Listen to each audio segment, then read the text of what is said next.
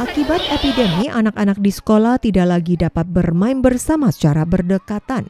Walaupun epidemi di Taiwan tetap terkendali, namun dokter anak U Chang Teng mengatakan angka penularan anak di Amerika Serikat mencapai 94 ribu anak. Sementara di Indonesia lebih dari 1.200 anak meninggal dunia akibat terinfeksi COVID-19.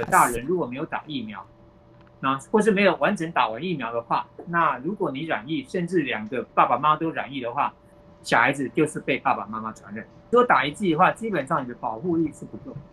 啊，两剂的话都 Menjelang hari masuk sekolah pada tanggal 1 September, Dr. Huang Limin mengatakan anak-anak belum dianjurkan mendapat vaksin.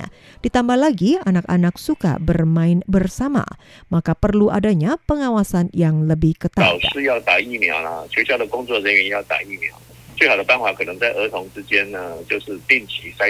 大概一周做一次，大概就可以了。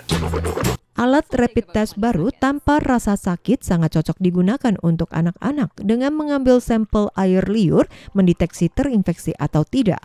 Akan tapi hingga saat ini alat ini belum ada di Taiwan.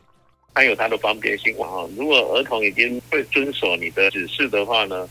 错意可能是可以的。那如果有感染的话，早一点把他诶诊断出来，早点请他回家休息或者到医院。Dokter Huang mengatakan penyebaran virus varian Delta sangat cepat, maka persentase risiko tertular semakin tinggi. Dianjurkan orang dewasa segera mendapat vaksin, lebih memperhatikan kondisi kesehatan anak-anaknya agar dapat menjauhi virus penyakit.